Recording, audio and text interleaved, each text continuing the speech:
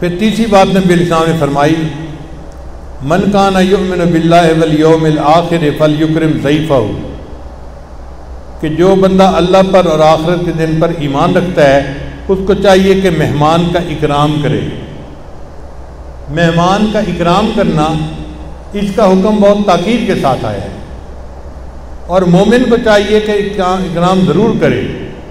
اکرام کہتے ہیں کھڑے ہو کے ملنا بشاشت سے ملنا، سلام، خیریت پوچھنا، ان کو بٹھانا۔ اور اگر کچھ بھی گھر میں نہ ہو کھانے پینے کا، تو فقط پانی ہی پیش کر دیں۔ مہمان نوازی ہو گئی۔ مہمان نوازی میں تکلفات نہیں کرنے پڑتے۔ اگر کسی بندے نے گھر آئے مہمان کو پانی ہی پیش کر دیا اور اس کو خیر خیریت سے مسکرا کے بٹھا لیا، تو اس نے مہمان نوازی کر دی۔ کوشش یہ ہونی چاہیے کہ اللہ نے جو ہمیں رزق دیا ہے، اس میں سے ہم کچھ نہ کچھ مہمان کو ضرور کھلائیں کہ یہ اللہ نے ہماری طرف بھجوایا ہے۔ مہمان خود نہیں آتا، حدیث پاک میں آتا ہے، اللہ مہمان کا رزق پہلے پہنچاتے ہیں، پھر اس بندے کو وہاں پہنچاتے ہیں۔ تو اس کا رزق اللہ نے پہلے سے پہنچایا ہوا ہوتا ہے۔ وہ ہمارا کچھ نہیں کھا کے جاتا۔ ہمیں تو صرف اس کے ہاتھ دھلانے یا اس کے سامنے دسترخوان بچھانے کا ثواب ملتا ہے۔ رزق تو وہ اپنا ہی بیٹھا کھا رہا ہوتا ہے۔ تو اس میں پریشانی کس بات کی؟ ہمارے یہاں قریب ایک حاجی صاحب ہوتے تھے۔ حکیم تھے تو مجھے ہمیشہ ان کے پاس بیٹھنے کا مزہ آتا تھا۔ میری عمر چھوٹی تھی۔ ان کا بیٹا میرا کلاس فیلو تھا۔ اور وہ بزرگوں کی باتیں سناتے تھے۔ اور مجھے بزرگوں کی باتیں سننے کا بہت چسکا تھا۔ تو اس لیے میں ان کے پاس کبھی کبھی جب جاتا تو ان کی باتیں بڑے غور سے سنتا تھا وہ یہیں شہر سے کوئی دس پندرہ کلو میٹر کے فاصلے پہ گاؤں تھا، وہاں کے رہنے والے تھے۔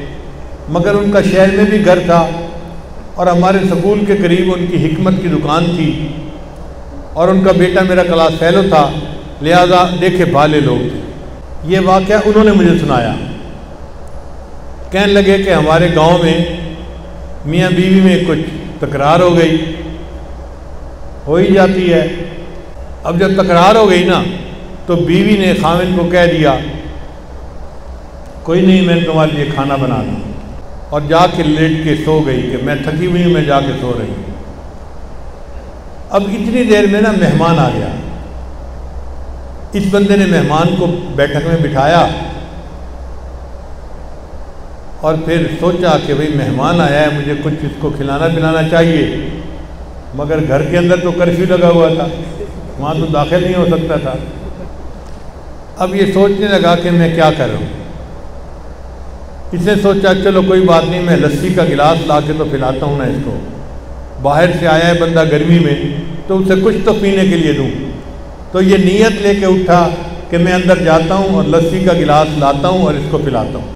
اس دوران اسے خیال آیا کہ مہمان تو لسی پینے کی بجائے کھانا کھائے گا۔ تو میں اس کو کھانا تو پیش کر نہیں سکتا، میں کیا کروں؟ تو اس کے ذہن میں خیال آیا کہ چلو بیوی کا تو موڈ آف ہے۔ سامنے والے پڑوسی ہمارے بہت محبت کرنے والے ہیں۔ میں ان سے ایک ریکویسٹ کر دیتا ہوں کہ کھانا وہ بنا دیں چنانچہ وہ بیٹھک سے باہر نکلا اور سامنے والے پڑوسی کو اس نے کہا کہ جی میری بیوی کی طبیعت خراب ہے۔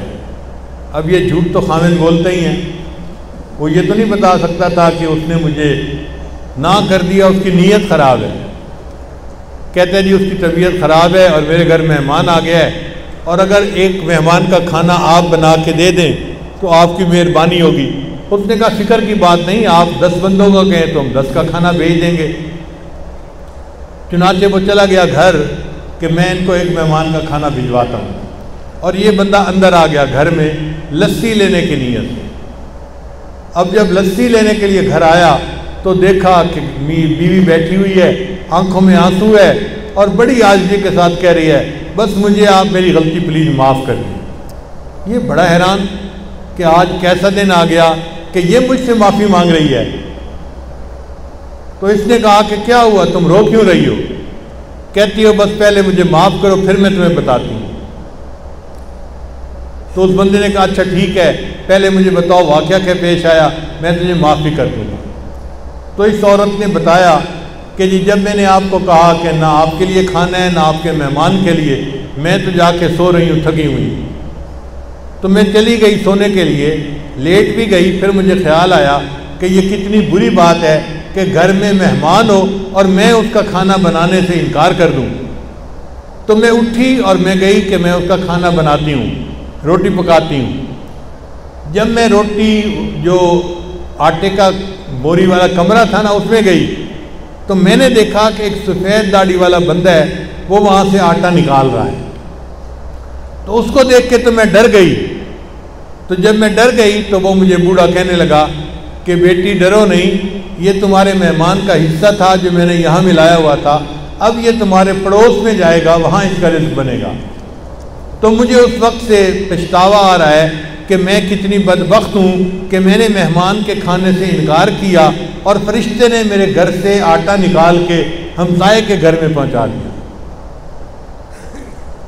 تو اللہ تعالیٰ مہمان بعد میں بھیجتے ہیں، مہمان کا کھانا پہلے بھیجتے ہیں، اس لیے بشاشت کے ساتھ، کھلے دل کے ساتھ مہمان کو کچھ پیش کرنا چاہیے۔ اتنا اکرام کریں، اتنا اکرام کریں کہ جیسے اللہ نے، معاذ اللہ کسی رشتہ دار کو بھیج دیا ہے اور ہم اس کا اکرام کر رہے ہیں۔ اللہ کا کوئی رشتہ دار تو نہیں ہے، نہ کوئی اللہ کا بیٹا ہے، نہ اولاد ہے۔ اللہ تو اس سے سب سے جو ہے، وہ بلند و بالا ہیں مگر اکرام بندہ ایسے کرے کہ جیسے اللہ کی طرف سے کوئی خاص بندہ آ گیا ہے اور مجھے اس کا اکرام کرنا ہے۔